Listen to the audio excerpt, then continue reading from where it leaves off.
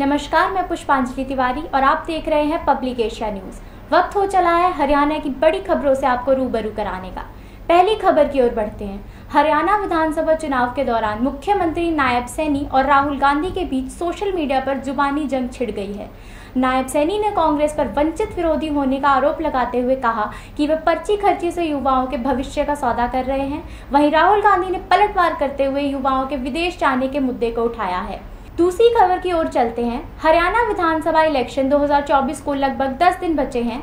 ऐसे में सभी पार्टियाँ प्रचार में ज़ोर शोर से जुट गई हैं। इसी सिलसिले में आज प्रधानमंत्री नरेंद्र मोदी सोनीपत पहुँचे और वहाँ से उन्होंने 22 विधानसभाओं के वोटरों को साधा और अपने प्रत्याशियों के लिए वोट मांगे। अगली खबर की ओर रुख करते हैं। रंजीत चौटाला की मंत्रिमंडल से छुट्टी हो गई है। उन्होंने विधायक के रूप में कार्यकाल पूरा नहीं किया। रंजीत चौटाला ने इस्तीफे की घोषणा की थी, लेकिन त्याग पत्र नहीं दिया।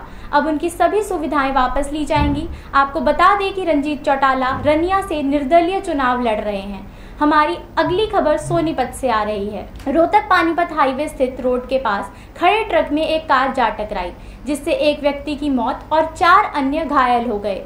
बड़ौदा थाना के पुलिस ने घटनास्थल का निरीक्षण किया और मामला दर्ज कर मामले की जाँच शुरू कर दी है। कहा जा रहा है कि हादसा ट्रक के इंडिकेटर न जलाने की वजह से हुआ है। आखिरी खबर की ओर बढ़ते हुए आपको बताना चाहेंगे कि हरियाणा मुख्यमंत्री नायब सिंह सैनी ने मंगलवार को फरीदाबाद के तिगांव और एनआईटी विधानसभा सीट पर भाजपा प्रत्याशियों के लिए चुनाव प्रचार करने पहुँचे। इस दौरान उन्होंने नू के फिरोजपुर झिरका सीट से कांग्रेस उम्मीदवार मामन खान पर करारा हमला बोला।